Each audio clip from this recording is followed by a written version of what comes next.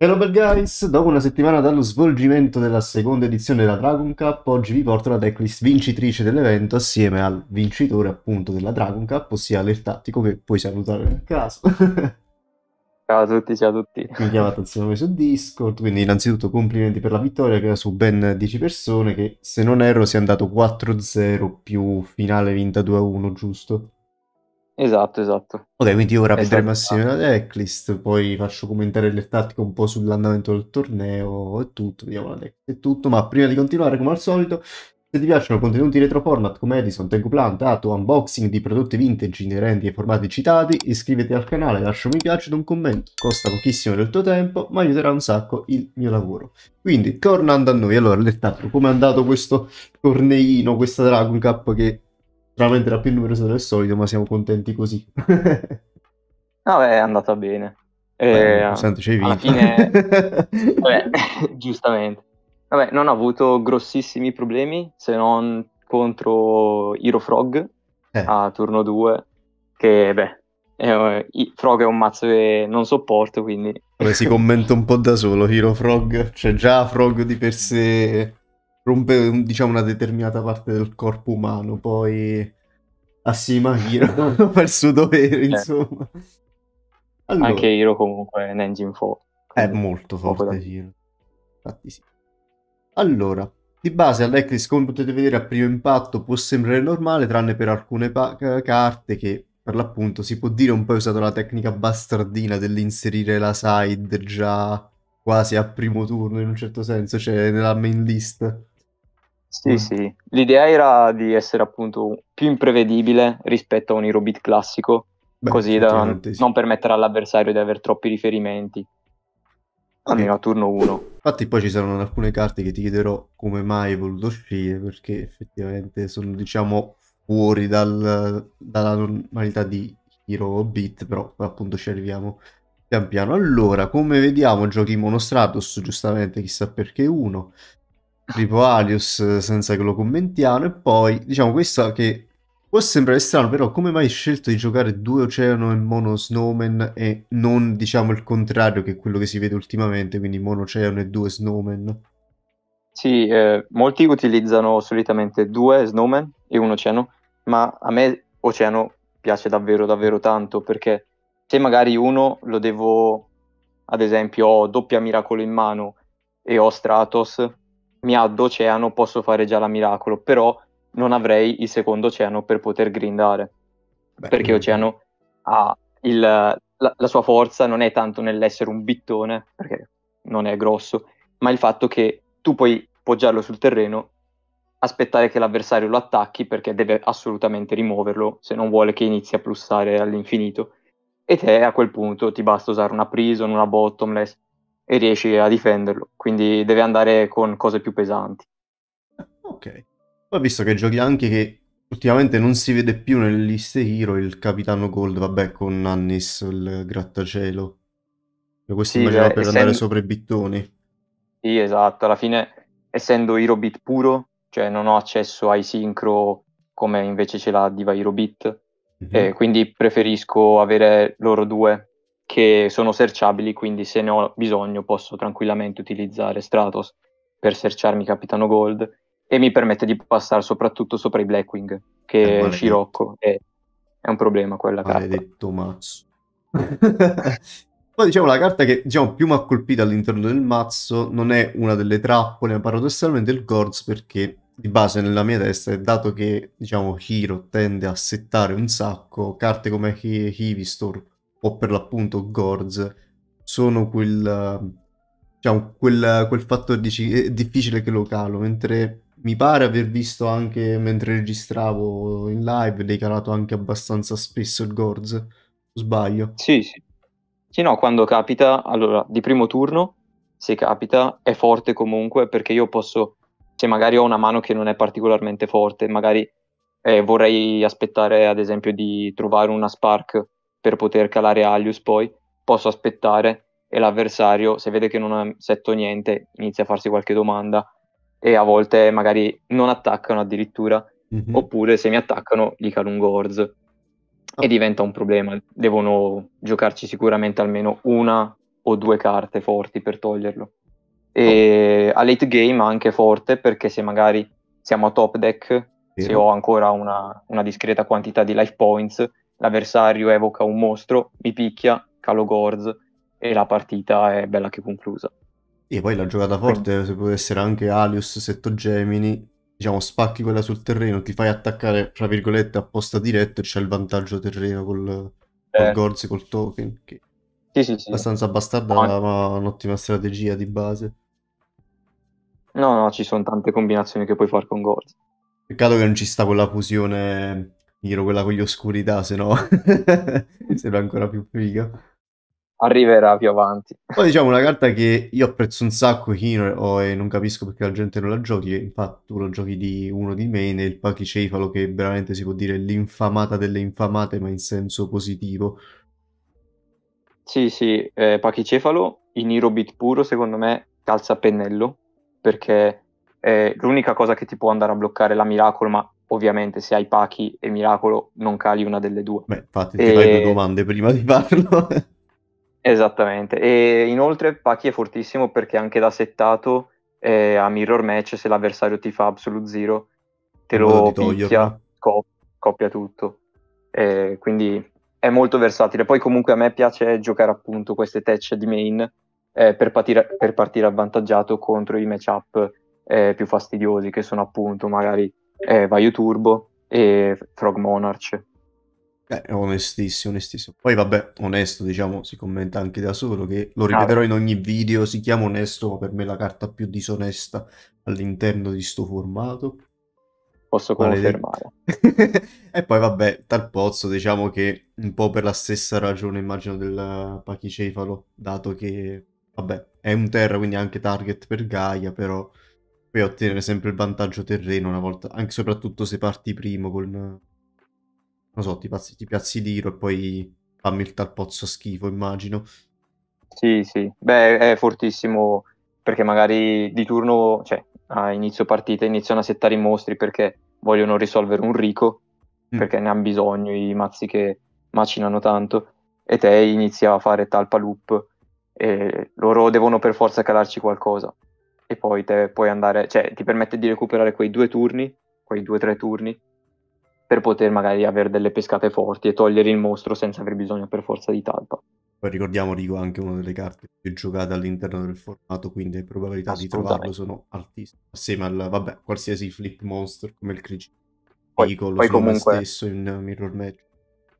Sì, va a rimuovere anche tutti i mostri sincro, esatto, più uno cioè. contro zero assoluto, quindi cioè, è una carta mandatoria in questo mazzo proprio.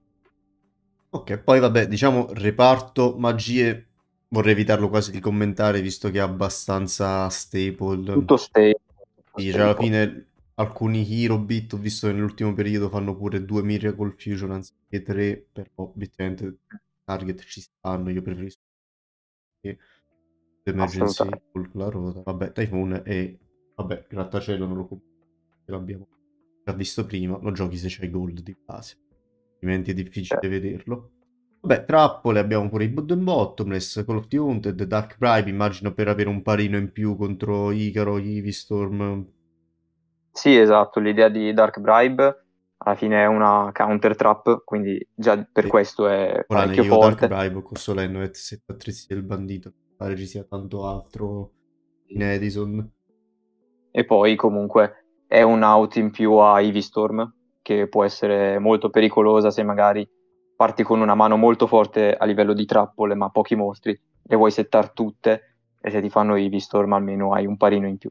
E poi se posso chiedere, come mai hai deciso magari di giocare la uh, Dark Bribe anziché la seconda Starlight come fanno alcuni, dato che obiettivamente Blackwing è il mazzo diciamo, spammato all'interno del, far- del formato assieme all'attacco Icaro. Come mai questa preferenza sulla Dark no. Bribe, ecco? Alla fine Bribe è più versatile rispetto alla Starlight. Vero. È vero che Starlight, cioè, se risolve eh, al 80% hai vinto la partita. Però è anche più difficile farla risolvere e soprattutto eh, contro a Hero, quindi nel mirror match, eh, diventa inutile la Starlight Road perché eh. Gemini Spark, Hero Blast sono tutte carte che spaccano uno. Quindi te preferisci almeno io preferisco avere Mono Bribe e Mono Starlight per appunto avere dei parini in più, anche se magari voglio provare a chiudere la partita, ma ho paura di una prison, di una bottomless, allora con la Bribe posso permettermi di provare, con la Starlight Road invece preferisco giocare più safe perché non potrei farcela. Ah, e, e poi la side la metti eventualmente in caso di Blackwing. Esatto, esatto.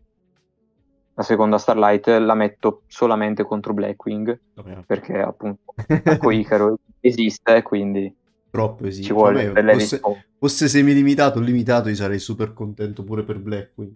Hai detto? Ah, beh. A due sarebbe giusto. Due sì, poi eh. Calut male. Per me quelle sarebbero le carte da toccare Blackwing, poi fate sì. che volete. Sì, sì, sì. Però opinione personale. Eh, Vortice Nero e Calut sono le due carte più Maledette. forti del mazzo. Vabbè, due Prison, mm. due Hero Blast che ricordiamo possono funzionare anche senza veramente spaccare. Mirror Force, poi la carta un po', questa diciamo la, la carta che un po' spunta nel reparto trappola, la, la, la Pulling the Rug. Eh, Come sta scelta? Faccio sempre eh, per Monarch. Eh, sì, allora il motivo principale è Monarch, senz'altro, perché comunque Caius è ancora una carta molto giocata in molti Vabbè, deck. In Edison, i monarchi eh, che Catena demoniaca difficilmente qualcuno la gioca. Araldo gioca solo Fata. Il Veiler non c'è. E poi inoltre è un po' meta call per tutte le dive che girano ultimamente. Diva Hero Beat comunque è il, for- è il mazzo che ha avuto più top e ha avuto più gioco nell'ultimo periodo nei grossi tornei online. Quindi ho deciso perché no.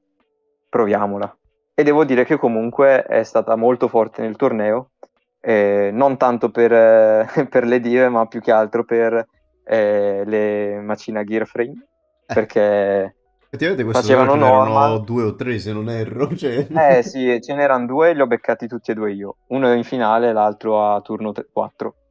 poi, Quindi... aneddoto divertente, c'è stato uno dei ragazzi che mi ha contato prima, voleva dei feedback sulla lista Niente, mi ha chiesto, vabbè, ma quanti macchina Gearframe ci saranno all'interno del torneo? Io che non potevo di niente, giustamente.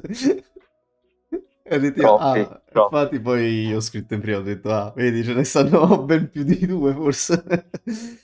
Vabbè, poi abbiamo Solenne, Starlight, il Torrential Tribute e la Dash. Poi... Solenne l'ho realizzato, ce l'ho da Legendary Collection, adesso Secret. Quindi, ah, quindi c'era anche in Real sto mazzo, diciamo così.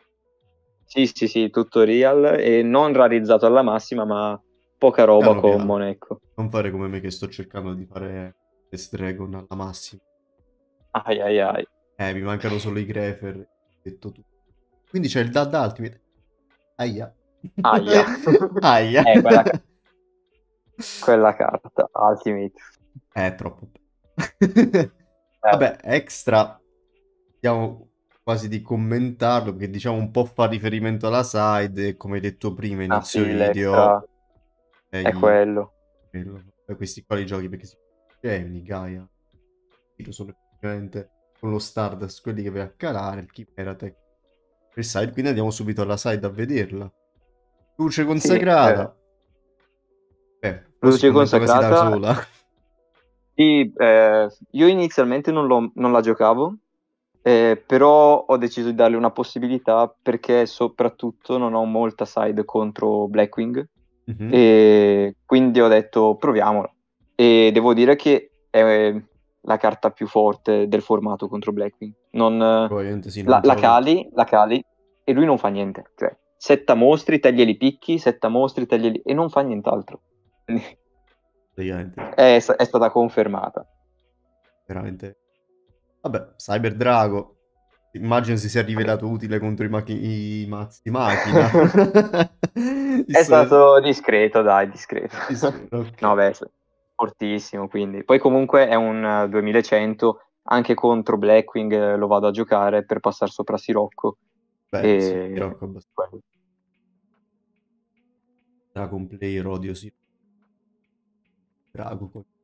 Eh, ah, Poi, entrando vabbè. Nord. Di Crow è penso la carta più giocata all'interno di Edison, anche Tengu Plant a livello di side, perché vabbè è rotto.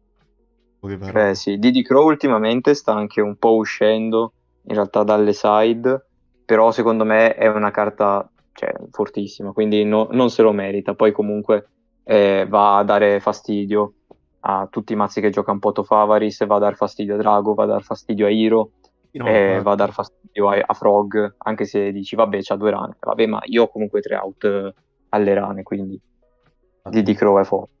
Veramente, poi contro Vaio Turbo pure, il maledetto. Sì, poi vabbè, Pachicefalo, motivo di prima, Heavy Storm di side, comprensibile visto diciamo, il numero del comparto trappole, in caso che sì. immagino contro Mirror.